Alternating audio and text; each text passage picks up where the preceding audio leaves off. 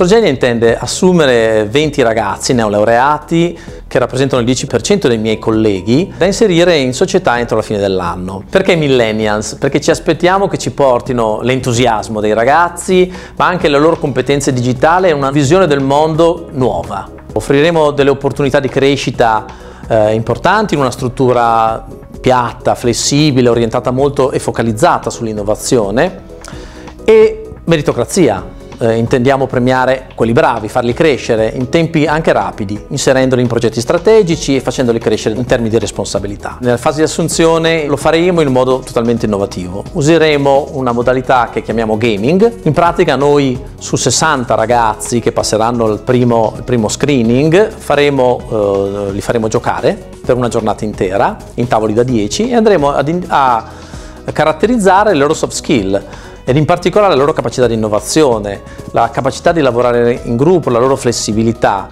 il pensiero critico che per noi sono elementi fondamentali per la crescita in un mercato competitivo e nuovo che si sta rinnovando dell'energia in cui Sorgenia vuole essere protagonista.